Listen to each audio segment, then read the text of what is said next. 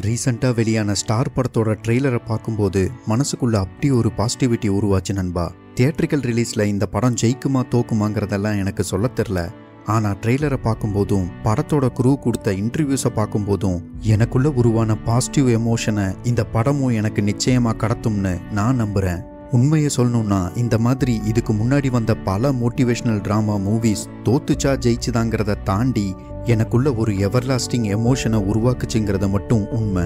அந்த எமோஷனை உங்ககிட்ட ஷேர் பண்ணத்தான் இந்த வீடியோ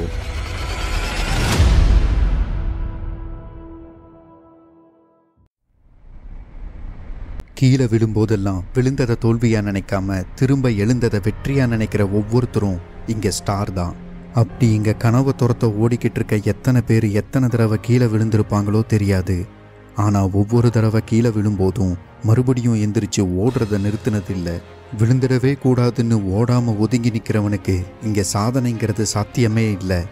துணிஞ்சு ஓடுறவனுக்கு பாதை முழுக்க சோதனைகள் இருந்தாலும் முடிவு ஒரு வெற்றி சரித்திரத்தோட முன்னுரையாக இருக்கும். இங்கே பேஷன் வேற வேறையாக இருக்கலாம்.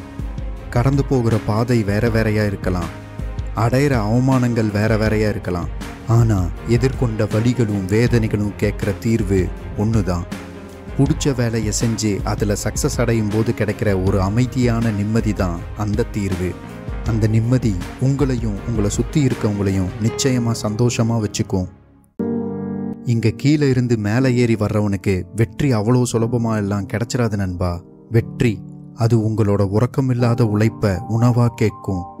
வெற்றி அது உங்களோட அவமானங்களை அணிகலன்களை அணியச் சொல்லி கேட்கும். வெற்றி.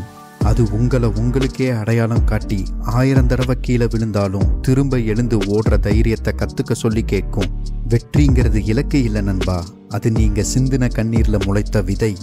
தொடர்ந்து சிந்தப்போகிற வியர்வையில் வியர்வையில வளரப்போற மரம். அந்த மரம் மலர்களையும் பழங்களையும் தொடர்ந்து தரப்போகுதாங்கிறது உங்க கையில தான் இருக்கு. ஞாபகம் வச்சுக்கோங்க. இந்த உலகம் அழகான வானவில்களாலும் அமைதியான காலை பொழுதுகளாலும் மட்டும் நிரம்பி இல்லை.